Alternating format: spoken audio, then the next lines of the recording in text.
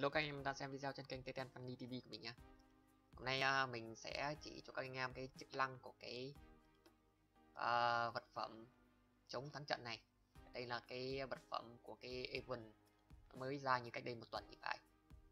Thì cái chống thắng trận này thì anh em kiếm ở đâu? Uh, anh em có thể là kiếm nhờ cái việc uh, đánh ở những cái bãi quái mà nó chênh lệch với lại cái, cái cấp độ của anh em không quá 20 cấp tức là chẳng hạn như cái con của mình đây cấp 57 thì ờ, để mà đánh quái nó rơi ra được cái vật phẩm này thì mình phải đánh ở những cái map mà quái vật nó phải từ cấp 37 trở lên.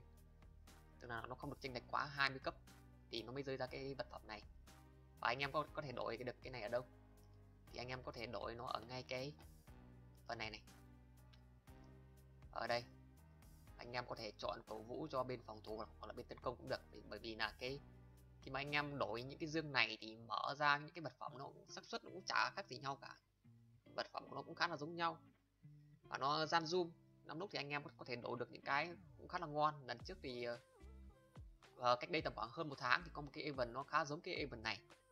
Và lần đấy thì mình đổi thì được hai cái bùa để ép vào sách cổ. Thì mình uh, mình bán được ở chợ thì mỗi cái bùa đấy nó dao động tầm khoảng cỡ 80 đến 140 vàng nó tùy vào cái thời điểm.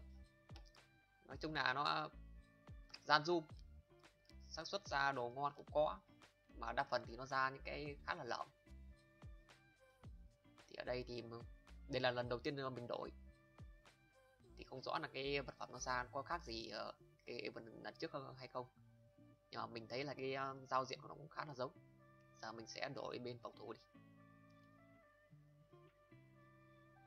Đổi hết này uh, cho anh em được đổi uh, như là 60 lần mỗi ngày phải.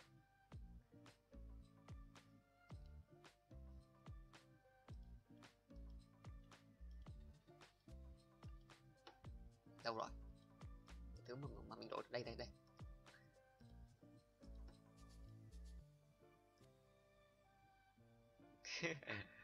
Những thứ này đối với mình thì nó gần như nó không giá trị nhiều năm như chẳng hạn như cái này thì mình cháo giờ mình dùng.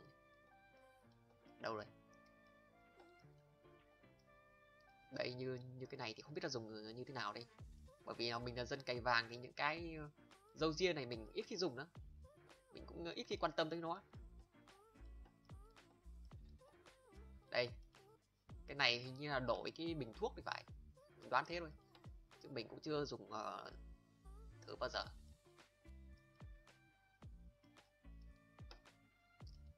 Mấy cơ bản là mình là dân cày vàng mà. Nên là những cái lick này ờ, của mình thì được chiến nó khá là thấp.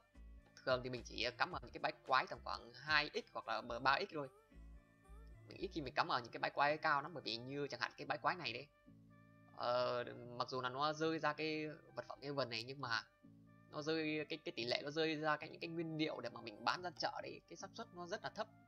Nên là mình ít khi mình ờ, cắm vào những cái bãi quái này mà nếu mà mình cắm vào những cái bay quái hay ít thì nó lại không rơi ra cái vật cái vật phẩm như vần chẳng qua là cái đợt này cái giá đờ đa cô nó thấp quá nên là mình cũng chán cũng cũng, cũng chả buồn nữa cắm vào những cái bay quái kia để kiếm vàng đấy.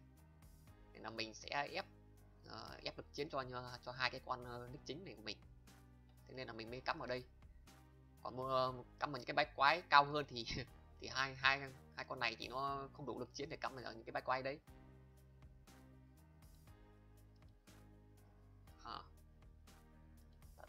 Cái có cả cái này nữa này cái này đổi ra cũng khá là giá trị.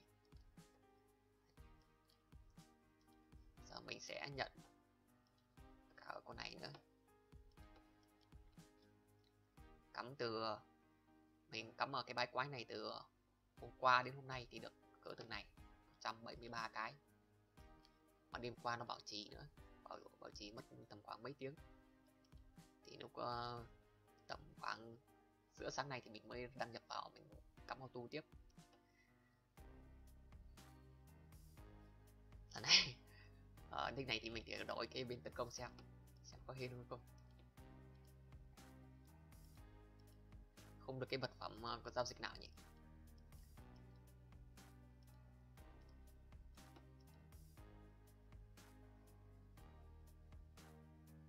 Đây đây đây đây đây đây đây. Nhưng mà cái không biết là cái này này là đồ khóa hay là đồ giao dịch? Hình như là đồ khóa hay sao đấy? Đồ đồ khóa. Chứ bình thường ờ, nếu như mà nó là cái đồ uh, đồ giao dịch được đấy thì thì anh em có thể uh, đem bán ra chợ. Giá của nó giờ cũng khá là cao. Còn anh em có thể ép sách cổ được. Với những cái đồ khóa này thì, thì chỉ có ép sách cổ thôi. Tăng đam. Check cực quái vật ờ để mình xem là cái đấy giờ giá bao nhiêu. Giá cái hộp thép của chúng mình ở cái server này khá là đắt. Giờ giá Draco chỉ loanh quanh tầm khoảng cỡ 0,3 đô thôi mà nó bán đến 643 vàng trong cái hộp thép này. Đắt gấp rưỡi so với những cái server khác. Thánh điện trang bị.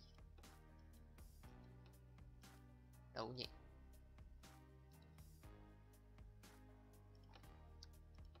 Tin xem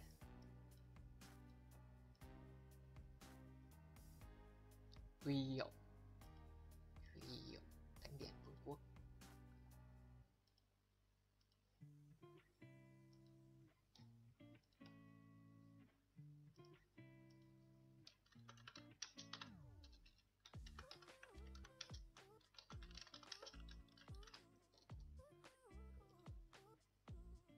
Bắt rồi em không không ra nhỉ?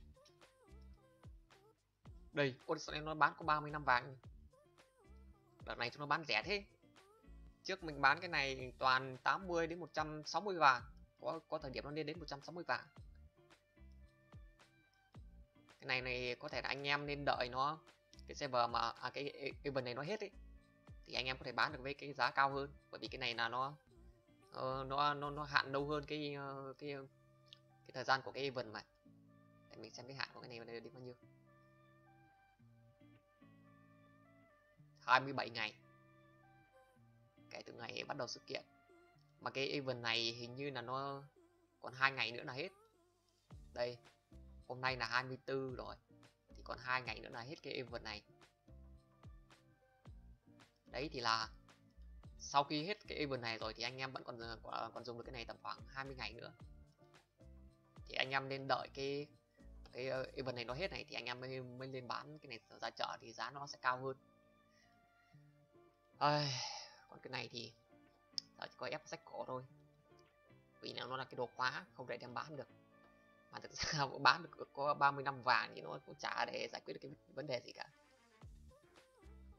Ờ, à, 35 vàng thì chả mua được cái gì to tát. Đợt này ờ, điểm danh nó cho khá nhiều năng lượng.